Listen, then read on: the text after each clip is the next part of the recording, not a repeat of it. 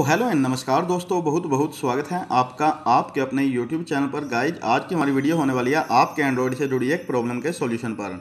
अगर आप पहली बार हमारे चैनल पर आए हैं और आपने अभी तक हमारे चैनल को सब्सक्राइब नहीं किया है तो प्लीज़ बेल आइकन को प्रेस कर हमारे चैनल को सब्सक्राइब कर दीजिए।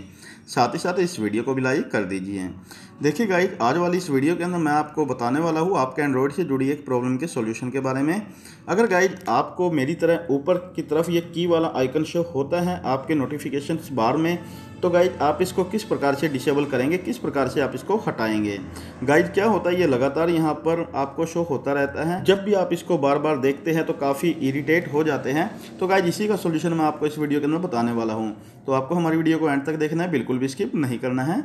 तो गाइज़ ज़्यादा समय न गवाते हुए शुरू करते हैं इस वीडियो को और आपको बता देते हैं आपको किस टाइप को फॉलो करना है ताकि गाइज़ ये की वाला आइकन यहाँ से हट जाए। देखिए, सबसे पहले तो आपको अपने मोबाइल के अंदर जो सेटिंग है, उसका ऑप्शन ढूंढ लेना है। आपको उस पर क्लिक कर देना है।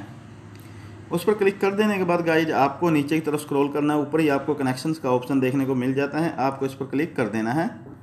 उसके बाद गाइज़ आपके सामने कुछ इस तरह का इंटरफेस आ जाता है। आपको यहाँ पर सबसे लास्ट में एक ऑप्शन दिखाई देगा मोर कनेक्शन सेटिंग आपको इस पर टैप करना है।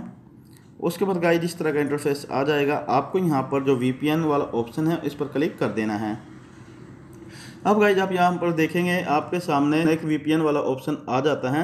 अभी मैं गाइज़ आपको ये भी दिखा देता हूँ कि हमारे मोबाइल के अंदर कोई भी वीपीएन इस समय एक्टिव नहीं है, फिर भी गाइज़ ये हमें की वाला ऑप्शन आ रहा है। मैं बिल्कुल ही बैक कर देता हूँ और साइड से मैं इसको दिखाता हूँ। देखिए, यहाँ पर आपको किसी भी प्रकार का कोई भी बैकग्राउंड के अंदर वीपीएन रन नहीं कर रहा। उसके बावजूद भी गाइज़ मेरे को ये देखने को मिल जाता है। तो गाइज़ चलिए, इसकी वाले आइकन को यहाँ से हम डिसेबल कर देते हैं। तो गाइज़ आपको टर्बो वीपीएन के सामने सेटिंग वाला बटन देखने को मिल जाता है। आपको इस पर क्लिक कर देना है। तो गाइज़ यहाँ पर एक ऑप्शन मिलेगा आलवेज ऑन वी तो गाइज़ आपको इसको यहाँ से क्लिक कर देना है, जिसके बाद गाइज़ ये डिसेबल हो जाएगा। उसके बाद गाइज़ आपको बैक आ जाना है। आप देखोगे गाइज़ जैसे ही आपने उसको डिसेबल किया था, आपका ये की वाला आइकन यहाँ से हट गया था। तो गाइज़ आज की इस वीडियो के अंदर मेरे को जस्ट इतना ही बताना था। अगर आपको हमारी वीडियो पसंद आई तो प्लीज़ हमारे चैनल को सब्सक्राइब कर देना और वीडियो को लाइक कर देना। तो मिलते हैं एक नई वीडियो में तब तक के लिए bye bye friends love you all take care